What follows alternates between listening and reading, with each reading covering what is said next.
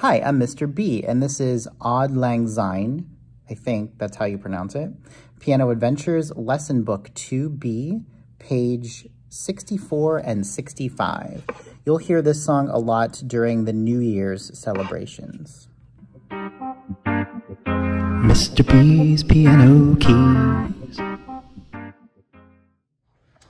So for Auld Lang Syne, your left hand will mainly be in a in an F five finger scale, although there's an arpeggio at the beginning to, to start it. Your right hand will go in and out of place a little bit. There's a few hand shifts, very small hand shifts, and some crossovers. So watch out for those. Make sure you play your B flats, and then there's an extra arpeggio at the end. So this might take a little bit of practice. This is Auld Lang Syne.